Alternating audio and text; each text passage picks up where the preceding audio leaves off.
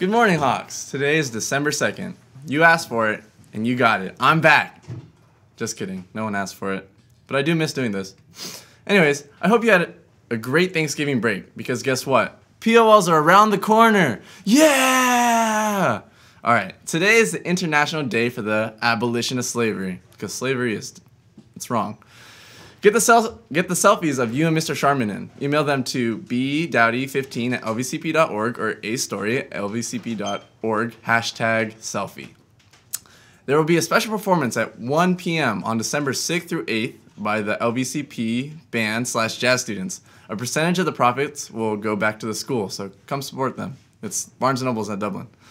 Uh, a new LVCP literary and art blog is being created by students. We need students to submit their writing, stories, poems, etc., and artwork to be displayed and shared on the blog, which will be made available to the LVCP community.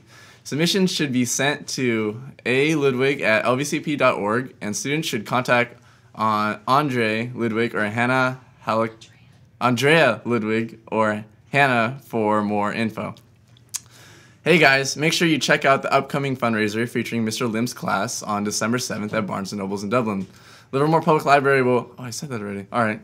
Livermore Public Library will present the workshop Scholarship Success this Wednesday, December 2nd from 4 p.m. to 5.30 or 6.30 p.m. to 8 p.m. in the Civic Center Storytime Room. This workshop is offered to all high school students.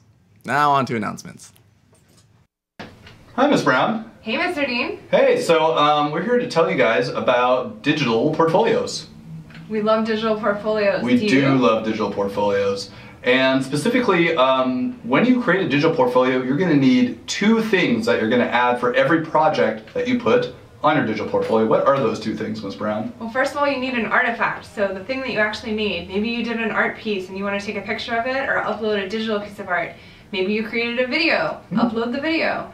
The second thing you need to have is a description of what that project was about and what you are showing us on your portfolio. Very true. Those are the two things an artifact, a video, a picture, a document, something like that, and then a quick little description. And put that on your digital portfolio. Wow, well, um, how many things, how many projects, how many descriptions should we have for our digital portfolio, Ms. Brown? You should have lots by this point. We're here in the second quarter already, so Mhm. by now you should have at least one project for every class. Yes. Mm-hmm. Um, on your digital portfolio, on the left-hand side, all your class periods show up, one through 7 Mhm. and you should have something, a project and a blurb for every class. Yeah, because we're kind of midway through our second quarter, you probably should have a, let's say for period one, you would have a project that you've already put up for period one, and then probably we're doing a project right now that you're getting ready to finish up for quarter two, so we're going to want to put both of those on there. So by the end of the semester, you'll have two projects for every class on your digital portfolio with not only a picture or a movie or something like that, but also a little written component. Yeah, absolutely. Yeah. Why? So why? why? do we have to do a digital portfolio? That's an excellent question, Ms. Brown. There are so many different reasons why we have digital portfolio. First of all, is that it's just a wonderful place to house your documents. If you guys go to your Google Drive, and after like a couple months of going to Google Drive, like it's just a big list of all this stuff, just not very practical. Overwhelming. It's not very organized either. So if you take those documents and those pictures and stuff like that and put them into, you know, little compartments, a portfolio perhaps, um, it just looks really organized and really wonderful. And that way your teacher can go and find your old work. Or maybe even other teachers can go and check out your work. Or grandparents can check out your work. True. Grandparents or um, also, I don't know, governing bodies over the school like WASC and stuff, WASC. things like that. They went and checked out a couple of your guys' digital portfolios. So some really neat stuff. And by the way, when people really have their digital portfolios, they have a bunch of stuff on there. They look really, really good. So it's just really neat. Oh, I, also I forgot one thing. Colleges. Yeah, don't you want to be able to show your college all the hard work you've done during high school? It's way more impressive to be able to show them something than to just tell them about it. True story. So we're about to roll a video right now about digital portfolios. Enjoy. Enjoy. This is Digital Portfolios in Plain English. So, here's college, and here's you. Eventually, you're going to get to college.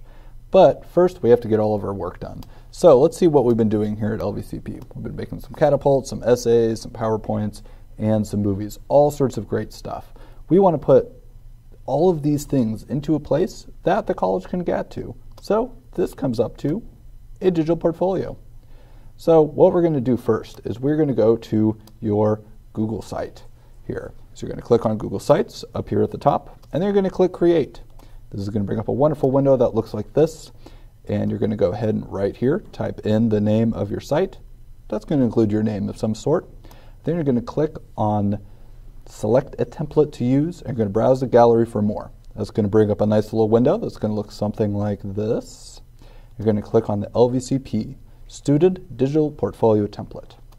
And when you click on this and you create your site, it's going to bring up a wonderful thing like this.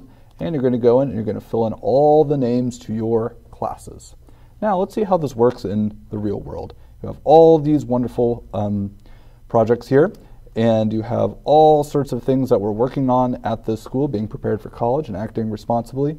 We want to make sure that we, let's say if you're doing a project in geometry, you're going to think of that as a nice little catapult there, and you're going to take your catapult and put it on your digital portfolio, and then write a nice little reflection about how you did on that wonderful catapult there. Okay? The idea here is when you're showing your digital portfolio to somebody else, they're going to think, hey, that's pretty cool. Or even better, when you get to college, the college is going to think, wow, that's pretty cool. All right, Night of the Arts is on December 11th, which is a celebration of all that is happening at LVCP, artistically speaking. Drama showcases their work, while digital photography and urban art displays their, display their work as well. Choir Club will also show up on that day to sing for us. So come join us, Hawks, and support your school. Today in advisory, you will be doing whatever your advisor wants you to do. And on that note, advisors, advisors, if you have an issue with the bird call, please do not complain to your advisory. Email Mr. Dean at cdean at lvcp.org. Okay, have a great day, Hawks. Digital portfolios.